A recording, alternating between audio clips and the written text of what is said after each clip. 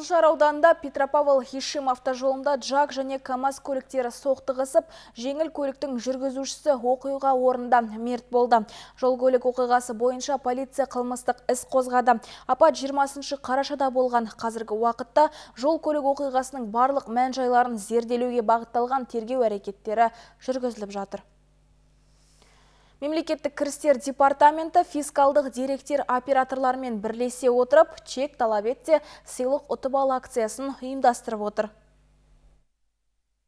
Акция кезінде Қазақстанның әрбір тұрғыны кез келген затты сатып алу немесе ақылы қызметті қолдану кезінде смартфон және басқа да бағалы сыйлықтар ұтып алу мүмкіндігіне ие болады. Целью проведения акции Акцияны өткізудегі мақсат азаматтық белсенділікті арттыру, азаматтардың тауар, жұмыс және қызмет тұтынушысы ретіндегі өз мүдделерін қорғау бойынша құқықтық мәдениет қалыптастыру, көлеңкелі экономиканың мөлшерін қысқарту. Қазірдің өзінде 11 апта сайынғы ұтыс ойыны өткізілді. Әр ұтыс тікелей эфирде өткізіледі. Осы акцияға қатысу үшін тек тауарлар, жұмыстар және қызметтер үшін төленген чектерді мобильді қосымша амиян арқылы тіркеу қажет. Сондай-ақ акцияға тек деректерді тіркеу және беру функциясы бар бақылау кассалық машиналардың чектері қатыса алады. Кроме того, с 18 ноября Сонымен қатар 18 қарашадан бастап әр қатысушы чектен 100 пайызды кэшбэк ұтып ала алады. Амиян қосымшасын App Store және Play Market'тен тегін жүктеуге болады. Акция шарттарына сәйкес чектің берілген күні мен уақыты ұтыс ойынның басталу күнінен ерте болмауы тиіс. Бір қатысушы тіркейтін чектер санына шектеу қойылмаған. Айта кетейік, акция 2024 жылғы 31 желтоқсанға дейін жалғасады. Жанар Ибраева, Анатолий Белонок, жаңалықтар қызметі.